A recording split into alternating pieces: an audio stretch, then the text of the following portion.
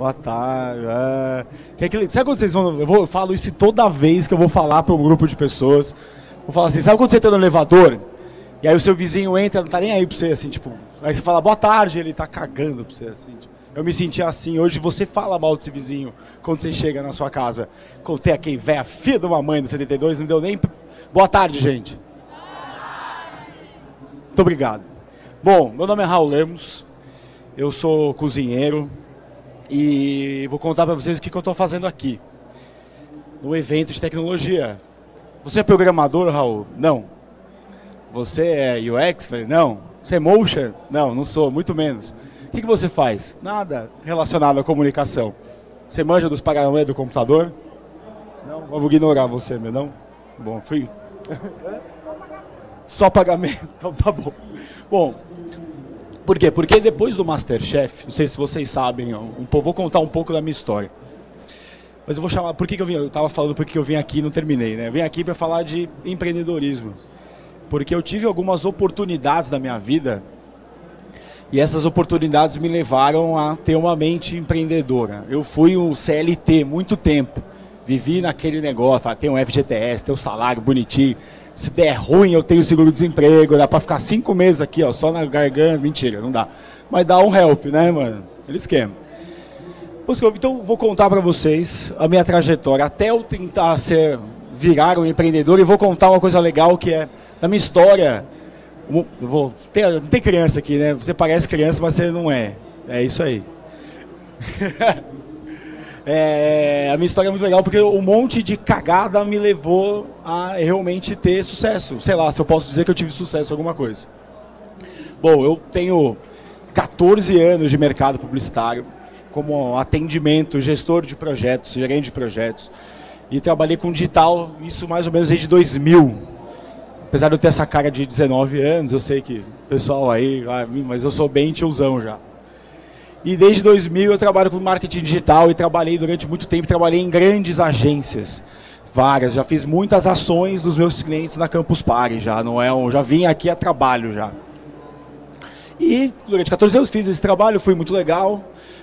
No final dessa minha carreira eu tive uns piripaques de infelicidade com o meu trabalho e por um motivo de livre e espontânea vontade de Deus, eu tive que sair do meu trabalho, que eu tive um problema de saúde muito sério, e, e, tive que fazer a opção entre ficar mongo, depender a vida inteira da minha esposa, ou mudar e ser obrigado a chamar outra profissão. Foi o que eu fiz. E eu tomei coragem e desvinculei de 14 anos de agência, 14 anos de segurança, 14 anos e um bom salário. Eu era diretor geral de atendimento numa grande agência. Tava legal, não precisava fazer isso. Mas eu estava muito feliz, não dormia, estava gordo, gigante, com colesterol zoado, ia ter um já tive. O Piripaque ia ter um outro pior. Essa foi a primeira cagada que eu tive na minha vida. Trabalhei o tanto, tanto, tanto, esqueci o porquê que eu trabalhava tanto, fazendo um negócio que eu não gostava, que não me deixava feliz, e eu botei em risco a minha vida. Então, botar em risco a minha vida fez. Sei que muita gente aqui é novinho, mas vocês vão passar, espero que vocês não passem por isso. Na hora que você for escolher uma carreira, escolha uma carreira com gosto. Não vai na onda. Porque uma hora você não vai sustentar. E foi o que aconteceu comigo, eu não sustentei. E tive um. Deu um ruim. Vou encostar aqui porque a gente está mais amigo já, né? Aí deu o primeiro ruim no negócio. Tive que pedir demissão. Fiquei imaginando já, quando você fica meio esquisito assim. O pessoal me carregando para ir no banheiro, aquela coisa, sabe? Quando você não tem nenhuma autonomia. Eu falei, vou sair. Nessa que eu saí, eu falei, o que eu vou fazer? Meu sonho da vida era abrir uma pousada, tivesse um restaurante. E a gente saísse da praia e falasse assim, vamos lá no Raul bater um rango? Esse é meu sonho, negócio dos sonhos.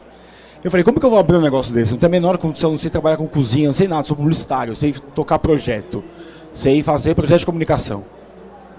E eu falei, vou aprender a cozinhar. Sempre cozinhei, cozinho desde pequeno. Na minha casa, se você não sabe cozinhar, você não tem moral. Se eu não cozinhasse a minha adolescência, eu não ia no cinema, porque meu pai cobrava que tivesse um arroz e um feijão pronto todo dia. E aí que se eu requentasse feijão de ontem, se bicho era bruto, assim, era bravo. E aí, eu fui estudar gastronomia e fiquei estudando em casa, comprei um monte de livro, montei uma rotina de estudos e de disciplina que eu nunca fiz comigo na minha vida, porque eu sou uma pessoa que eu não comprei um livro na faculdade. Cheguei xerox dos outros, dei uma mas comprar o livro eu não comprei. E comecei a estudar, comprei um monte de livro, estudei. Bom, beleza. Por livre espontânea vontade dessa moça que tá de preto aqui no celular, eu me inscrevi numa. Minha esposa, gente. Eu me inscrevi no Masterchef. E aí aconteceu, não sei se todo mundo acompanhou, se alguém acompanhou, eu quase ganhei o Masterchef 2015.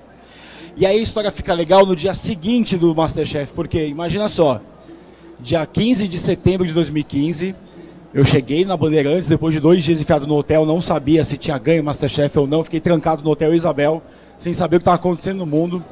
Entrei na Band e descobri que minha avó estava lá, que os meus amigos de Santos estavam lá, tinham levado um busão de Santos. Falei, ganhei, é nós, não iam trazer a minha véia de Peruíbe, lá em Santos, litoral do Sul Santista, para São Paulo, três horas de viagem, para sacanear com o neto dela, né? Não, mas o que aconteceu? Perdi o Masterchef. Não ganhei o Masterchef. Apesar de achar que eu ganhei. Todo, sei lá. Vocês acham que eu ganhei? Eu acho. Não tô nem aí pra vocês. Salve. Quem acha? Levanta a mão aí quem acha que eu ganhei. Ah, é nóis, hein, gente? Manda uma carta pra Band aí, por favor. E eu tive uma madrugada muito boa. A gente saiu da Band, foi pra um bar, eu enchi a cara de gin, como se não houvesse amanhã. E eu me surpreendi porque eu não fiquei chateado, eu tava muito tranquilo. A hora que eu cheguei em casa, o pessoal foi dormir, eu chorei umas três horas seguidas, assim. Tipo, vi o dia amanhecer chorando. que bosta! Quando eu parei de chorar e dar uma dormida, tocou o telefone. E aí mudou o rolê. Acabou o rolê. Eu achei que ia ter um dia de esquecimento, que eu ia dormir até mais tarde, que eu ia poder descansar, que fazer uns 50. O Masterchef dura, no mesmo meu, eu fiquei 59 dias seguidos disponível para o Masterchef. É muito pesado. É muito... Então eu tava querendo descansar. E aí me ligaram da Band falando, você pode vir aqui agora dar entrevista? Eu falei, mas a campeã tá aí, a Isabel tá aí, meu, usa Isabel, me deixa paz aqui. Não, não, a gente quer você, vem pra cá. Desse dia que eu fui pra Band, fiz um monte de programa de TV que eu não ia fazer, que não tava nem pra...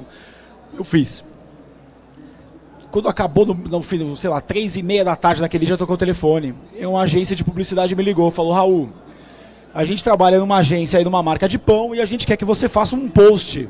Vou te mandar um produto, você faz um sanduíche, posta, marca. E quanto você cobra para fazer isso? Eu falei, sei lá, velho, quanto cobra, velho. Putz, eu trabalhava na agência, os trabalhava com blogueiro, aquele monte de influência, os caras cobram 100 mil fazer um post. Aí eu falei assim, ah, eu não sou o Zé Ruela, né? Que eu acabei de perder um reality show, eu não vou. Eu falei, ah, então bom, lá 500 conta aí, não sei o quê. Só que, meu, e isso começou a acontecer das três e meia às seis da tarde, eu atendi uns, sei lá, uns oito telefonemas. E-mail, o negócio bombou, assim, foi surreal. Todo mundo queria que eu fizesse um conteúdo, que eu fizesse um negocinho. Vem aqui no meu restaurante, isso aqui é o que eu mais odeio o assessor de imprensa chama pra ir no restaurante, fica em cima de você tirando foto. Dá raiva disso, cara. Se tiver um amigo que faz isso, pode falar que eu odeio essas coisas. Dá o recado. Dani, vou continuar o papo. Bom, beleza. Aconteceu, apareceu esse monte de oportunidade. Raul vem pra cá, eu conversando. E no final desse dia eu pensei, falei, cara, qual foi meu último job da vida? Eu, na minha função de agência, eu era diretor de atendimento, eu era especializado em e-commerce. E eu cuidava de toda a operação de e-commerce da Unilever para a Latam e leste europeu. A último estudo que a gente fez de mercado de produto, o que a gente ia fazer com os produtos, era a implementação de celebrity chefs na comunicação de todos os produtos da Unilever. Então era a seleção do monte de chefe maluco e determinar que eles fizessem, fossem atrelados a produtos diferentes. Quando as marcas começaram a me ligar, eu falei, opa, pô, burro, como é que você não se ligou disso ainda? O mercado chegou. Essa revolução que estava acontecendo na Europa aconteceu no Brasil o Masterchef foi o grande player, o causador de todo mundo hoje em dia aqui saber que falta tom perro na comida ou tem que ter crocância ou suculência no negócio. Todo mundo. Ninguém fazia isso antes do negócio. Eu cozinho a vida inteira, eu nunca tinha tirado foto de um prato meu. Nunca. Eu cozinho desde os 10 anos de idade. Começou a bombar esse negócio. Falei, cara, que legal. Temos um negócio aí. Chamei um amigo, um amigo de longa data que tinha uma agência, a gente morou junto, de confiança. E a gente começou a falar, cara, chegamos nos Masterchef e falou assim, deixa eu te agenciar, deixa eu cuidar dos negócios para você, eu sei como é que faz, trabalho em agência, pô, vai te ligar, é chato, ninguém sabe cobrar. E nessa a gente começou a falar, a Jang, a Jang, ah, cuida da minha coisa, cuido, Jang, vem cá, é nós, mano, vem cá que a gente cuida de você. Começamos a fazer a gente, vendemos a Jang para ser garota propaganda do Maracujina. Jang é garota propaganda do, da maior rede de comida oriental do Nordeste, cara, chama Yampin. Isso em um mês. Surreal. A gente falou, cara, que absurdo. Temos um negócio aí. Nesse dia a gente falou, cara, vamos montar uma empresa. Só que vamos estudar o mercado primeiro. Sou eu que estou fazendo isso? É o capeta, velho. Desculpa. É que se eu falar alguma coisa ruim, Deus vem aqui e vem. E a gente começou a fazer isso, trabalhar. Só que a gente ia, ia numa reunião, vem cá acertar o esquema da Yamping da Jang. A gente ia falar com uma agência de publicidade. E essa agência de publicidade não sabia a menor ideia do que estava fazendo ali. Não sabia o que estava fazendo, era bizarro. E eu com 14 anos de publicidade, ouvindo um estagiário falar na minha cara que, ah, eu adoro marketing digital. Eu falei, meu amigo, se liga, né, velho? Você nem sabe o que é isso. E a gente começou a fazer, posso eu fazer estratégia? Pode, legal. A gente começou a fazer estratégia. E nessa que a gente começou a agenciar as pessoas e planejar para o que, que elas seriam vendidas, a gente criou a Meni, que é a minha empresa, um hub de negócio em gastronomia. Eu só não falei para vocês uma coisa é seguinte, eu não tenho apresentação porque eu sou cozinheiro. Eu, do dia que eu saí da agência, eu prometi para mim mesmo que eu nunca mais faria um PowerPoint na minha vida. E se eu faço um PowerPoint, eu vou ficar aqui seguindo o PowerPoint, eu não vou falar as coisas do jeito que eu gostaria de falar para vocês a sinceridade. E aí eu vou ficar aqui, ó, criatividade. Não, então, só para explicar porque o povo chegou aí, né, moça, tudo bem? Como vamos aí? Oi, tudo bem? Tranquilo, hein? Bom, montamos a Meni. Meni é um hub de negócio em gastronomia. Por que um hub de negócio em gastronomia? Porque a gente começou a trabalhar o agenciamento desses cozinheiros. A gente começou a vender o cozinheiro. Agora, por que, que você agencia cozinheiro famoso? Porque um cozinheiro famoso é uma plataforma de mídia plataforma de mídia porque ela tem uma audiência garantida, ela tem uma segmento, ela tem uma qual que é o nome da palavra? O engajamento muito louco. Imagina o campeão, o antigo campeão do Masterchef, Leonardo Young, tem quase 600 mil seguidores assíduos. Um engajamento monstruoso. Ele é garoto propaganda de umas cinco marcas. A Jang, um monte de Jang, tem 300. Eu tenho 280 mil seguidores. Mentira, 270, né? Sei lá. Só numa, num negócio. Mas a gente é plataforma de mídia. Vamos vender estratégia de mídia com audiência. Porque quando você compra audiência de uma agência, quando você compra uma campanha de mídia com uma agência, você compra uma promessa de campanha. Você, ah, eu vou fazer uma campanha e eu vou atingir, eu vou tentar atingir esse monte de gente. Não é garantido. Na rede social, o maluco da rede social, o negócio virou tão porque é, um, é uma comunicação muito direta. E nessa a gente viu uma oportunidade de negócio muito legal. Falou, cara, vamos juntar e vamos tratar o Leonardo Young como uma plataforma de mídia, o Lucas Coraza, que é um, um doceiro, não sei se vocês conhecem, vale a pena, porque o bicho é doceiro de mão cheia. É uma plataforma de mídia, eu sou uma plataforma de mídia. Então a gente tem uma audiência. Quem me segue aqui em alguma rede social? Nossa, que pouco, hein, gente? Ô, me ajuda aí, vai, mano, eu ficar famosão aí, ganho uns job aí, essas coisas. Por isso que ninguém me chama pra porra nenhuma. Tá Bom, e a gente começou a trabalhar isso e a gente meio que trabalhava com uma agência. Olha que legal. A minha segunda cagada da vida foi perder o Masterchef ao vivo, na frente da minha avó velhinha, belezinha, me fez abrir um negócio. E ter uma oportunidade de abrir um negócio. Só que esse muito louco, a oportunidade, não sei se você sabe, tipo, quem conhece, eu tenho um mantra pessoal que chama sorte na sorte. Sorte na sorte para mim é nada nada que o resultado de muito trabalho, muito trabalho, muito trabalho e um pouco de esperteza de, de aproveitar as oportunidades que eu tenho. Capeta tá entre nós. É isso, isso aqui que é isso? É o mix de Sword Nerd. Isso aqui tá com. Tá, tá, eu entrava na área de programação da agência, é esse mesmo cheiro. Três e meia da tarde, assim, depois do almoço, depois você ia tomar o café. Quem trabalha em agência aí com programação, o povo sabe como é que é. Bom, montamos a Meni, a Meni virou uma plataforma, a gente começou a negociar essas plataformas e criar os projetos para qual elas eram vendidas. E o mercado gostou da gente, a Unilever chamou a gente para fazer um projeto. Vem, Meni, vem fazer um projeto para a gente, vamos testar vocês aqui. E a gente fez um projeto que foi uma. Era um, era um conteúdo, a gente fez uma competição de hamburgueiros com masterchefs, com cozinheiros famosos, dentro da Unilever, para a imprensa, especial, aqueles blogueiros especializados, aquele monte de gente que vive atrás de marca ganhando coisa de graça. Sabe aquele povo? Eu sei que vocês. Ai, gente, ganhei aqui a caneca. Ah, esse povo, velho. Jesus. Mas tudo bem, se quiser mandar coisas, estamos aí, viu, gente? Vamos Faz. E a gente começou a fazer isso. E a Meni começou a ganhar forma. Os Masterchefs começaram a querer fazer parte da Meni. Porque o mercado era novo, não se trabalhava nada com gastronomia na comunicação. Você tinha plataformas muito fortes de moda, de fitness, de música, de cinema, mas você não tinha gastronomia e em paralelo a gastronomia crescendo e tomando uma posição dentro da economia muito importante. O ano passado, isso é uma informação que eu assisti no. que eu sou da Band, posso falar, assisti no jornal da outra emissora. um especial muito legal sobre o mercado de gastronomia. O ano passado, o país em crise, o pior ano da economia do Brasil, o mercado de gastronomia cresceu 70%. Só que desse 70%, 45% foi a economia informal. Ou seja, a gastronomia é a mamãe que recebe todo mundo que está cagado no mercado de trabalho. Porque todo mundo aqui tem uma mãe, uma tia, um primo, uma cunhada, ou sabe fazer uma receita de coxinha, ou fala que faz o brigadeiro gourmet, que tá raiva de brigadeiro gourmet também, também, viu, gente? Sabe, todo mundo sabe fazer um negocinho, ah, eu faço o beijinho gourmet. Mas é muito legal, porque a gastronomia recebe todo mundo. E aí você tem um mercado muito forte, você tem a mídia ajudando, você tem tudo, você tem personalidades da gastronomia, você tem a mídia investindo o Itaú, o Bradesco. O Bradesco contratou para uma campanha de publicidade o Fogaça, o, a Bela Gil e o Eric Jacan gastaram uns 3 milhões só de cachê. Foi a campanha com maior awareness da história do Bradesco. Teve, tipo, os caras repicaram, pagaram o plano de mídia 5, 6 vezes. Foi um negócio surreal. O mercado estava bombando, respirando e falou, cara, vamos aproveitar essa onda. Ninguém faz isso. Quem trabalha com gastronomia não faz gastronomia só gastronomia. Quem faz conteúdo de gastronomia hoje em dia faz conteúdo de moda. Aí você tem aquele cara fazendo conteúdo assim. Aí você pega este creme de leite, hum, que é super ótimo, aquela coisa super natural da cozinha, sabe? Você fala,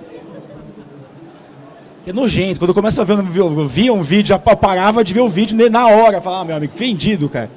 E assim a gente formou, desenvolveu um formato muito legal de conteúdo, a gente começou a vender conteúdo para o mercado também, porque a gente começou a fazer Deixa que eu faço esse conteúdo direito. A gente trouxe uma produtora meio que se juntou e a Meni começou a fazer conteúdo para o mercado também. Então, não sei, deixa eu dar um exemplo legal. Tem alguns. Depois eu passo, vocês me seguem aí, eu posto um monte de coisa que eu já fiz de conteúdo que é da Meni, que é muito legal, que a gente faz campanha para Tetra Pak, para Motorola, para um monte de coisa usando cozinheiro. Ninguém nunca fez isso. Hoje está todo mundo querendo copiar a Meni. Está todo mundo querendo fazer essas coisas. As agências estão querendo trabalhar com gastronomia, está todo mundo querendo trabalhar com gastronomia. Isso é muito Então, olha, ainda tô na recência da minha segunda cagada de vida, viu? Perdeu o Masterchef. Lembra que a menina nasceu dentro desse monte de oportunidade, porque as pessoas vinham, ah, vem trabalhar comigo, eu não sei fazer, você me ajuda? Lógico, a gente foi. Nesse meio tempo, em paralelo, a gente começou a vender evento. Eu faço evento corporativo no Brasil inteiro. Eu cozinho para 100, 200, 300 pessoas. A gente faz evento corporativo, é, festa final de ano, bar mitzvah, sei lá, tem aí alguém debutante na sua família? Chama nós que a gente faz o rango aí. Se é debut, só sua barba, rapaz, tem 15 anos. O resto, meu amigo. A gente começou a fazer tudo. A gente virou um polo de serviços relacionados à gastronomia. Por que eu estou contando essa história? Porque as coisas não aconteceram assim. Você tem um paralelo legal. Olha que louco. Eu venho do mercado publicitário, trabalhei 14 anos como diretor de um atendimento, subi, ralei, fui, comecei de estagiário, até a ponta do, grupo podia chegar, caguei.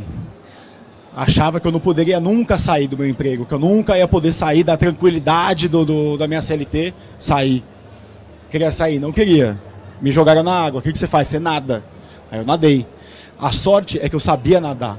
Esse é o negócio, é isso que eu queria chegar sabia nadar. Eu era preparado, cara. Eu estudei, eu fiz um monte de curso. Eu era interessado, eu ia um monte de coisa. Tava aqui, nem vocês aqui, em vez de estar no sábado na piscina, tava aqui bebendo informação e tomando referência. Que é muito legal. Parabéns para vocês estão aqui investindo seu tempo aqui para me ouvir falar groselha. E falar mal dos blogueiros que pedem coisa. Então, tá bom. Eu sabia, então eu podia aproveitar. Que eu abri a empresa porque eu quis. Quando a gente quer fazer alguma coisa que a gente não sabe, a gente literalmente, de verde e amarelo. Eu sabia mexer com comunicação, eu sabia o que eu estava falando. Quando o Zé Ruela falou para mim, ai, tira uma foto, faz um post, segura, eu falei, não, porque os caras vão vomitar em cima desse post, ninguém vai querer nada. E a gente começou a fazer do jeito que a gente acreditava. E deu certo. Só deu certo porque eu sabia o que estava falando. Porque eu não cheguei. E eu passei, isso é uma coisa engraçada, eu passei por muito por isso. Eu ia numa reunião, um diretor de marketing de alguma empresa e o cara falava assim: Ah, então, fica quieto aí que você não sabe nada, não vou falar com o cara da agência.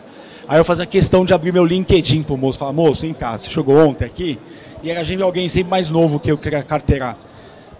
Antes de estar aqui, eu só estou aqui numa reunião de marketing porque eu tenho know-how de marketing. E a gente soube fazer. Eu tive muita sorte na sorte que era ter a oportunidade de fazer tudo que eu tive Imagina, eu tinha acabado de perder o Masterchef, os caras começaram a me chamar e não chamar a Isabel para fazer campanha de mar. Eu podia simplesmente falar, tá bom, eu vou, tiro a foto, posto, levo um dinheirinho para casa, pouco, levo um saco de produto, fico feliz, viro blogueiro, viro feliz, ah, ser blogger, vou me hospedar no hotel, vou lá comer no restaurante de graça no japonês, vou fazer esse monte de coisa. Não. Quer vir participar?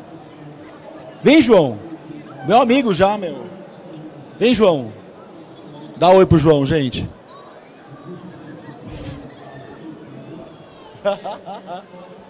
Mas não, a gente quis mexer no mercado. A ideia da Beni era dar poder e dar dinheiro da mídia das empresas para os cozinheiros. E a gente foi fazendo isso, foi trabalhando, mas só com coisas que a gente sabia fazer. Isso é muito importante. Porque você vai empreender, você vai querer fazer alguma coisa, botar sua cara a tapa, você tem que saber, meu, não adianta. Eu vou lá, eu vou vender comida, eu vou na barraca de rua, vou, vem cá comer minha comida porque eu sei que ela tá boa. Porque eu acho, ou acho que ela tá boa, sei lá. ou mais de três pessoas que fizeram experimentar e falaram que estava boa, sei lá. Mas eu vi uma oportunidade muito legal e não tive medo de investir, não tive medo de ir atrás, a gente oferecer, porque a hora que você tem aquele momento de uma reunião que você fala assim, eu faço isso. E aí tudo muda. A hora que a gente é em chato, bedelhão, eu sou metido, eu ouço conversa dos outros, minha esposa está cansada de sofrer com isso.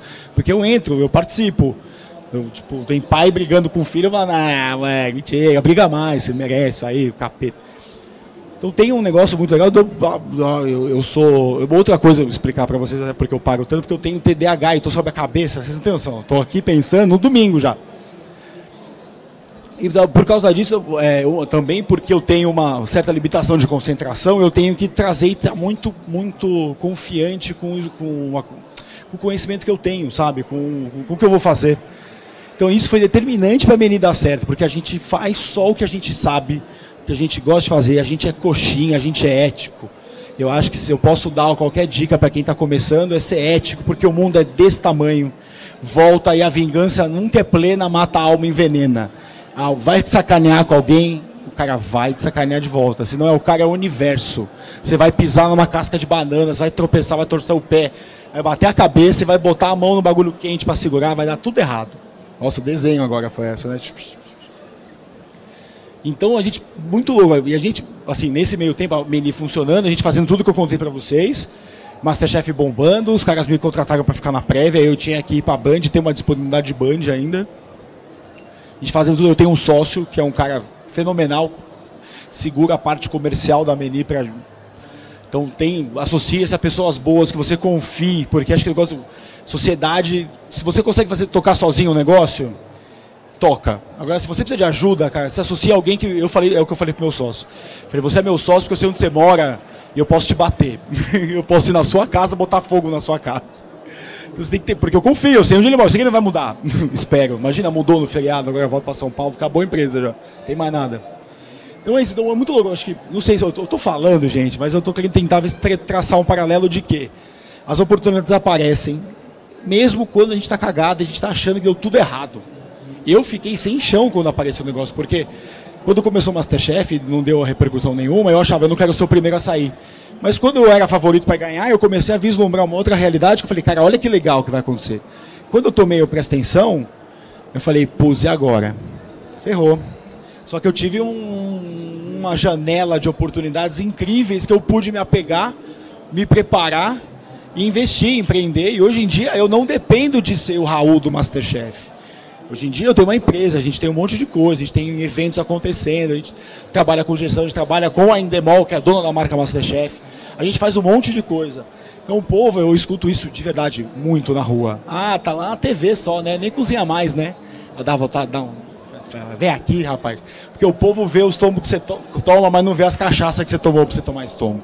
Eu inverti o negócio, porque fica mais legal, né, velho? O esquema. Porque o povo te vê caindo, mas não viu por que, que você caiu, né? Então esse é o esquema. Então eu acho que se eu posso condensar, sei lá, alguma coisa da minha história para vocês, é que eu tive né, é, situações bizarras que me fizeram desacreditar no que vinha para frente. As oportunidades apareceram, eu, eu tinha o conhecimento para aproveitar essas, essas oportunidades. Eu tive o medo e tive uma abertura que o Masterchef me trouxe. Não posso negar, nunca é, a, chancela que a marca, por ter participado e ter ido bem no Masterchef até. Acho que por ter, ter prestado um bom papel, não ter feito a minha mãe ou minha esposa se envergonhar na televisão, que isso é o mais importante. Aquele negócio, né? Meu, imagina, sei lá, uma caceta lá sua avó, ei, seu filho, hein? Eita, imagina, nunca, nunca passei por isso, graças a Deus. E tipo, assim, então tem muito trabalho envolvido, tem pouca preguiça, apesar de eu ser uma pessoa bastante preguiçosa. eu sou procrastinador. Eu deixo até o finalzinho assim, mas eu rendo em cinco minutos o que eu não rendo num ano. Então é papo. Eu vou fazer um jantar, alguma coisa, eu chego meia hora antes. Dá tempo, é, é culpa do Masterchef esse negócio, que a gente aprende rápido. Então, mas eu acho que sim, assim, a gente está num ambiente que a gente está. Só estou vendo gente jovem, só tá. Tamo junto nessa o Brasil está sofrendo uma situação. Eu, na minha idade, eu nunca vi um negócio desse, cara. É um bizarro, tá na nossa mão mudar. A economia, tá tudo na nossa mão, cara. Tudo na nossa mão. Os velhos fizeram um monte de cagada, a gente estão perdendo poder. Tá na nossa. Então a gente tem que ser e tem que adotar posturas que levem a gente a fazer coisas boas e que as coisas boas nos tragam. Quando eu falo sorte na sorte, é um agradecimento por eu ter o preparo, por eu ter o conhecimento, por eu ter e um agradecimento também por eu ter tido a oportunidade e a possibilidade de conseguir tirar alguma coisa dessas coisas. E também que a gente faça o bem, porque as coisas tem um papo agora meio de autoajuda, mas é uma coisa muito legal. Eu sigo uma filosofia que a gente tem que ser altruísta para os outros, a gente tem que fazer. Eu falo que quando eu faço uma burrice, eu tenho que ser penalizado por ela, eu tenho que ser penalizado e ficar quieto, e aceitar a penalização. Da mesma maneira, quando a gente faz coisas boas, o universo paga isso pra gente, ele traz coisas boas. Então a nossa história é muito louca. Eu tenho um monte de coisa que hoje eu passei esse ano que foi fruto do relacionamento que eu tive durante a minha vida profissional inteira. Eu tenho contratos, eu tenho isso chegou num nível financeiro para mim, de, de benefício financeiro. Eu digo que eu tenho trabalhos hoje em dia com pessoas que me contrataram porque me conhecem do mercado publicitário, trabalharam comigo, sabe? Não, Raul, um cara é honesto, vai fazer direito, não sei o quê. Eu sou peão de obra, cara. Eu sou convidado para um evento, eu carrego caixa, eu chego. Pô, vai, vem aqui na área VIP, senta aqui. Eu falo, aqui, área VIP, cacete, que me dá um café e tamo junto. Tem essa. Então a gente tem que ser, meu, tem que mergulhar, a gente tem que estar junto, não pode. Tem um monte de coisa que a gente. Né, eu não queria transformar isso num papo de alta ajuda, mas a gente precisa ter uma postura e um pensamento, a gente precisa prestar atenção em tudo que a gente faz, a gente precisa atender e ver com os olhos dos outros. Então eu posso dizer que todos o, a, a gestão do meu negócio é um reflexo do como eu levo minha vida. E acho que ela está indo bem, por sinal, é nós. E não sei, é isso. Falei bem, não sei se. Acho que consegui passar. Vocês que a gente quer fazer as coisas, a gente consegue. A gente precisa ter organização, a gente precisa aprender a aproveitar as oportunidades. Elas não aparecem, elas não são óbvias. Isso que é muito louco. Elas, nada é óbvio. A gente tem que estar naquele momento e a mudança está dentro da gente. A gente tem que querer fazer as coisas, a gente tem que querer mudar. Se você tem um projeto, ah, eu queria ser dono de uma. Qual é o seu projeto da vida, moço, de pé aí, você? O que, que você gostaria de ter na sua vida aqui? Tipo, eu queria ser cientista maluco. O que, que é? Vem participar aqui, moço, vem cá. Agora a gente vai envolver a plateia agora. Que que você, qual o sonho da sua vida? Mas vem longe da caixa, porque eu vou deixar os outros surdos. Vem aqui. Não, você vem aqui. Isso, a caixa vai ficar parada. Qual é o seu nome? César. Que, qual é o seu sonho da sua vida, César? Meu sonho é desenvolver jogos. Que mamar tem. O seu também? O que, que te impede de desenvolver jogos? Atualmente a necessidade de dinheiro. Você precisa de dinheiro para desenvolver jogos? É sobreviver mesmo.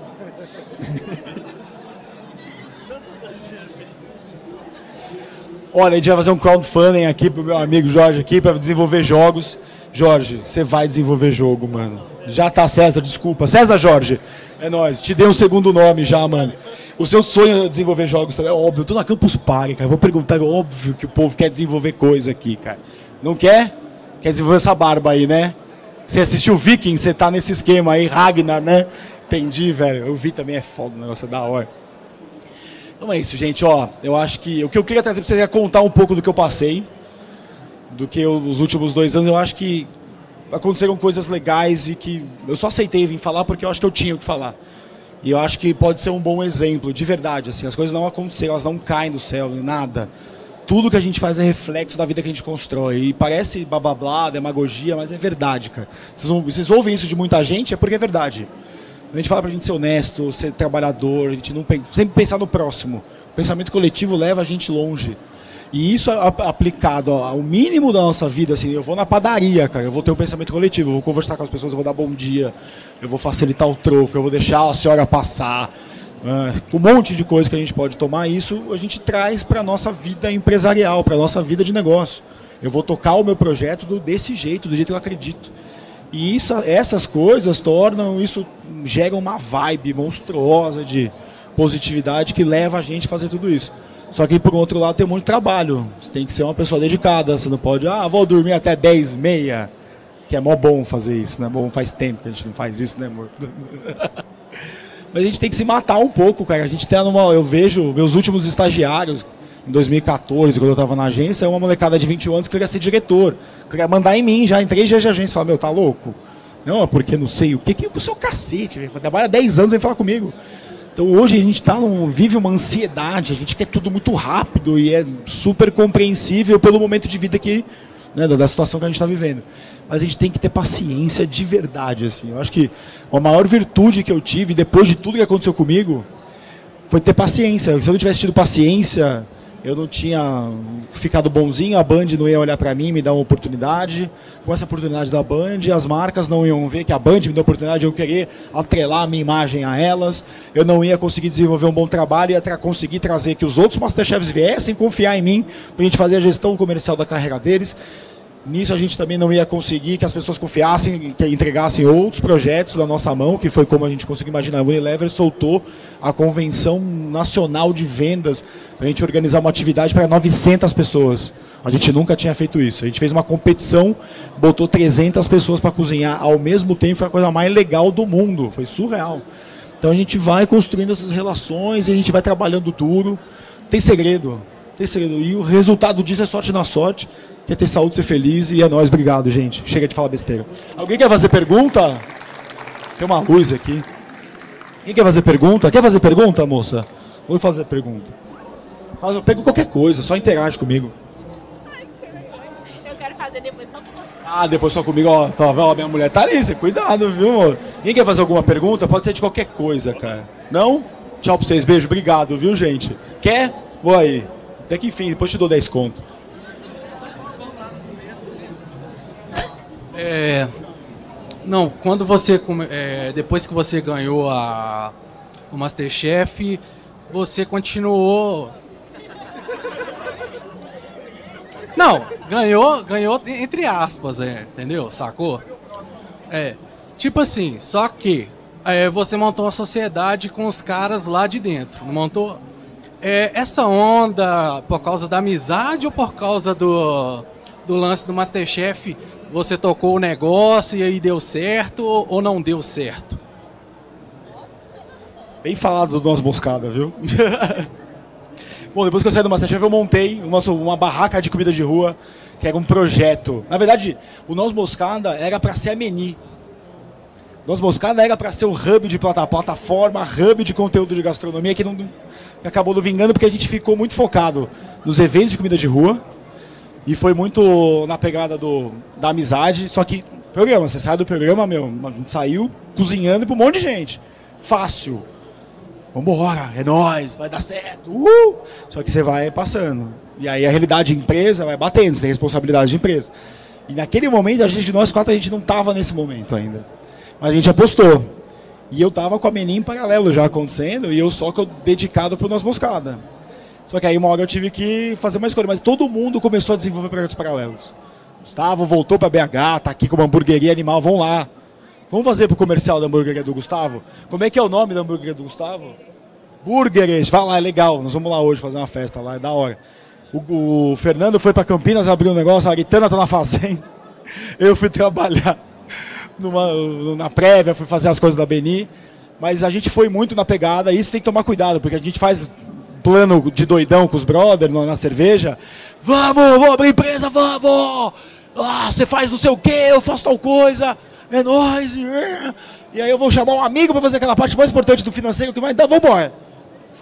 Acabou. Quando você acorda, ah, e aí? Empresa funcionando. Eu falo, não, não é brincadeira. Então eu vi muito, né? O Nós Moscada foi um resultado disso. Foi uma, eu ia incluir isso nas cagadas, mas foi uma coisa muito boa, porque foi um aprendizado animal. Mas foi uma cagada organizacional, porque eram quatro. Só que um achando que o outro estava tomando conta, ninguém estava tomando conta. Quando você olhou, o neném morreu, o neném morreu de inanição. dentro do caveirinho. Então eu, eu passei por isso. É que eu considero uma cagada, porque eu acho que foi muito legal e foi muito parte do aprendizado de cozinha. Que foi, a gente fazia evento, meu, atendia mil, duas mil pessoas.